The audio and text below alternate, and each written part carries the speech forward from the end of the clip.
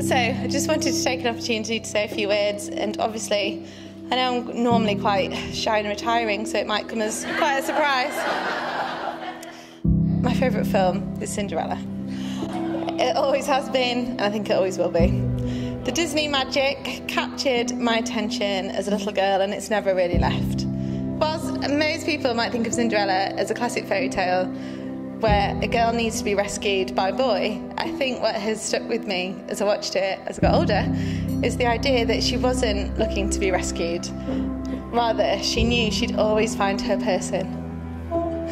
Because she believed in true love and happiness and wouldn't settle for anything less than perfect.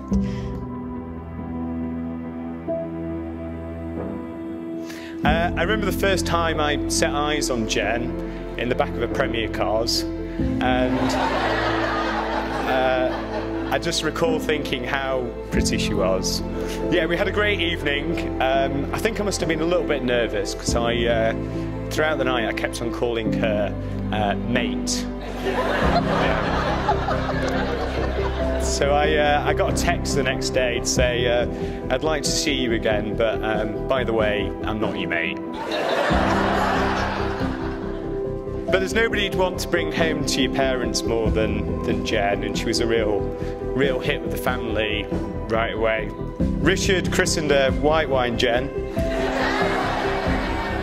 and we've had plenty of good nights in the conservatory with Prosecco Anne and Prosecco Charlotte as well, there you go. Uh, and I think that sums up why I love Jen to bits. Uh, she's always up for a giggle. She's got the most amazing smile and sense of fun. I can't wait to spend the rest of my life with you, Jen. Uh, even if not, I'm not allowed to call you mate.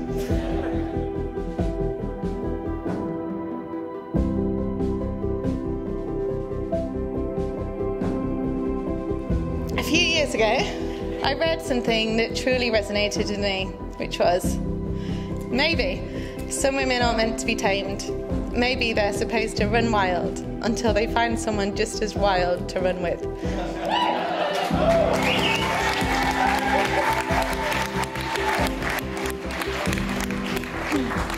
And from the moment I met PK, I knew he was my person to run wild with, and I think he knew I'd never be tamed. Thank you for making me so happy, for being my best friend and my person. and I think it's clear for everyone to see by marrying you today, my dreams really have come true.